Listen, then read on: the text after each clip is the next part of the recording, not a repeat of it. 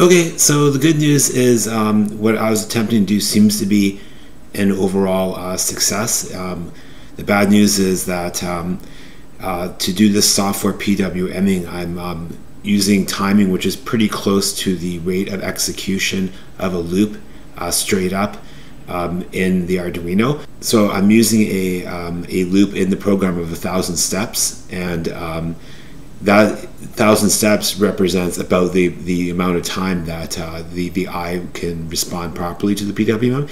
Um, I tried scaling that up. I didn't know like how many instructions it would take for a certain time period. And I tried scaling that up and um, I got into all kinds of problems. So what happens here is my Arduino has uh, had the, the, the, software uploaded, the little program I made. Um, I was kind of amazed because I actually got it done in about an hour last night. I wasn't expecting it was going to you know, happen so easily. But um, what happened was at this point, uh, I have something I call uh, white. So go over here, take this is the um, the string that's going into the USB that is going to make my Arduino do something. So this is color here.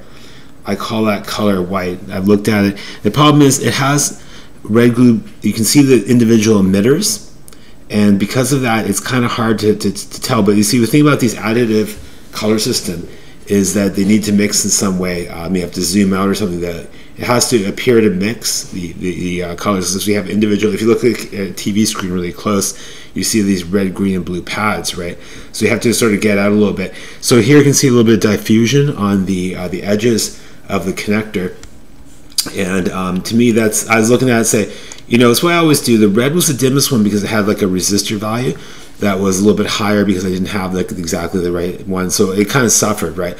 So what happened was I, I made the red the um, the 1000 and then I found out what how much of the other ones do I need. So it looks like in this case um, I need uh, a green 200 where the red is a 100 and the blue is 210. So um, having input values from 0 to 255, um, I'm going to have uh, missing gray levels of some sort. So that's not a big problem. I, mean, I would have been happy with 64 gray levels or something uh, for these. So it's not horrible. I don't know if the performance is going to be as good or as, as linear as uh, the, you know the number I put in will have a linear response or somehow a gamma response or something weird because of the the uh, switching time. Anyway, so you can see how it happens here is these codes correspond to the primary. So there's your red primary. Whoops, uh, not getting this. There's your green primary. And these are all adding, these are all supposedly these the equal intensity as give you the, the white, right? So um, those were the defining the uh, the white values, but uh, let's just put in some more here, some just random numbers. I don't think I, I had the most, I didn't find the most exciting ones. I just put anything. Okay, so maybe I was trying to uh, define the white one before. Okay, a lot of these are like, um, I guess this one's like um, centering on the red and the, the blue, so that's probably gonna be like a violet some sort. So um, over here, what I did was I made uh, the code. This is uh, the start of the, the uh, string, the Y, and then there's a 0 to 1000, are the gray levels, and there's RGB, it's an integer, and the Z means um, I'm done, right? So at the, I'll go over how the program works in just a sec. But uh, anyway, I didn't make very exciting examples here to show you. Here's maybe another one. Copy. This is going to be, I don't know, we'll find out. Yeah, nothing too exciting.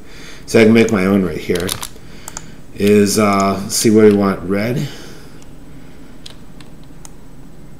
So what we want to make uh, it's kind of what was the um, just sec. So let's see what, what's yellow? Red is what's yellow? Is green? Green plus red? Okay so let's let's go back to the the yellow code is uh, two, 200 I believe so in theory, so I have to get my zeros in the right place. Okay, I think it's here. Okay, so let's see if we can get a yellow. I mean, in a way, it's unexciting because that's like what everyone would do. Then I get like a dimmer yellow. So actually, if I yeah, I'm gonna have to put both of them down. So let's say I divide by half. So this would be this should be like a dimmer zero 5, 100. So this should be the same thing, but half as bright because I'm doing the PWM dimming, right? Yeah, like that. Okay, well, I have my um, my Wacom uh, pen here and um, little tiny, tiny tablet, which has never really worked great. But um, let's say we have here, okay. This will be, This is, we'll call this um, a little too stylitic there, time. So this is some time, let's say it equals um, 20, um, ms. Do you say it's ms? I think you say it's 20 ms. So something around 20 ms. So what we're really doing is, um, it's actually logic low, but we'll just say logic high so doesn't confuse everyone. So let's say in this time period, you start out and you say for a certain, you know, certain color, it's on like that much, and then it's it goes back. So this is the on state here, right? Now let's say you have another another intensity of the same thing, right? So in that case, it would go like maybe here. So let's say you have um, a, the lesser intensity, right?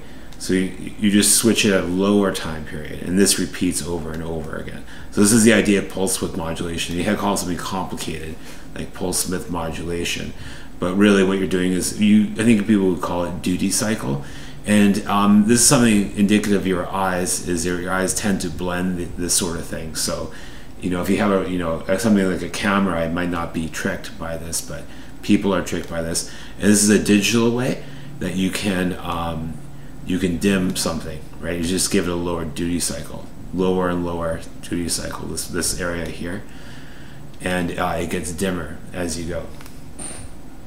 So um, I decided to use um, some of the ideas of my other program, and my other program kind of like stored up some information, and then it would say I have all my information and dump it out. And I thought what that does is it creates um, a part before this um, duty, you know, control of the cycle. So what I had to do is I had to somehow mix these two things together. And I guess in a, a multitasking operating system, you might have two different threads, and one could be, you know, the controlling thread. Yeah, the, the thread that sets the other one that's always loopy. But this isn't immediately a multitasking device. So um, what, the way it works is there's two parts of the program as usual. There's the um, the setup part, right? So basically, it's saying set up the serial port, um, set up the modes of some of the pins, uh, set up the initial values of some of the variables. Then we're into a loop, right? And what the loop does is it goes from zero to 1000, um, and uh, at some point it switches um, off the thing. Uh, you know, it might uh, start start and then it switches it off as per the value given to the program, right? So the idea is that, you know you can control the duty cycle, and then you would get a, um, the smaller the the number given, the, the dimmer the thing would become. So um, let's see, as in the main loop that's looping all the time. This is the main loop. What it's doing is it's um, seeing if there's uh, something going into the serial, um, something going into the Arduino through the serial port, and it's sort of building up um, some information. And when it gets to the Z part, it starts um, transferring that into the uh, variables. So what it does, it copies the variables at that point, and it also resets the loop to zero. So um, that that cycle would then restart uh, pretty much maybe the next cycle after this particular one here. So um, then what happened? Let's see if I got anything. Um, there was um, a contingency here to sort of um, make more uh, loop steps and a, a, scaling factor, but I found that um, a scaling factor of 10 even was perceptible. You could see it with your eyes that there is some sort of oscillation there. So I lowered it to one, and that means that this only works at a frequency similar to the execution frequency of the Arduino itself or the, the Arduino Nano. But it does work. It seems to work pretty well. So um, what I'm going to do now is um, I'm going to make um, probably a program that you know does some things, but it's going to morph morphosize from one color to another. And I was thinking of, of you know selecting random colors that are certain you know differenceness, not adjacent or you know not close together, but um, are a little different, and then somehow moving between those colors, moving to another color. So that's the next thing it has to uh, do with. Um, I'm gonna have to figure out how to calculate the magnitude of a vector. I'm making a, a 3D color cube.